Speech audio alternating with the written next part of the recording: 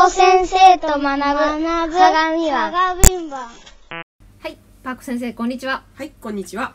えー今日はですね、はい、えっ、と、ウニつぶしのお話をしていきたいと思っております。行ってきましたね。はい、はいこちらの動画は初日の様子なんですけれども、はい。いガンガゼすごかったですね。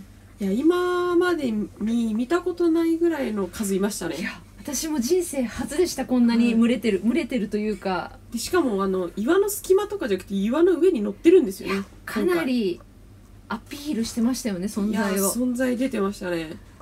これ、パーク先生が潰してくださってる様子なんですけど、またこの棒が潰しやすくなかったですか？これあの、漁師さんの、きっとなんか、サザエとか鳥用のやつなんでしょうね。うんなんかこう、引っかく、やつと、あの、鍵みたいのついてね鍵みたいなのがついてたりして、これ私めちゃくちゃ潰しやすくてこれで潰したいって思いました。ウニ潰し。あっていう話に、今日もなりましあた。本当ですか？はい。でこれ潰したのにまだ元気に動いてるウニです。元気ではないでしょうね。元気ではない。でもこいつらに攻撃されましたよ私。生きてるから。上から落ちてくるんですよ。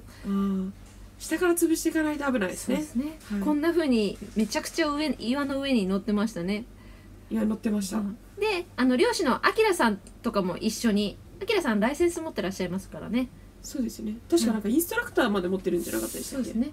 はいこちらは素潜りで潜るケンジさんなんですけれどもアキラさんのお弟子さん、お弟子さん、はい、これ上がるまで撮ってようかなと思ったんですけどうん。なかなか息が続くんですよ。さすがです。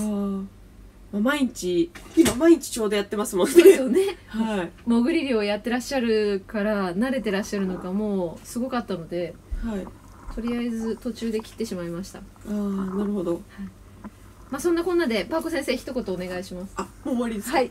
結構早い感じでしたね、はい。えー、SDGs ガンガゼ駆除。頑張ろう。おおお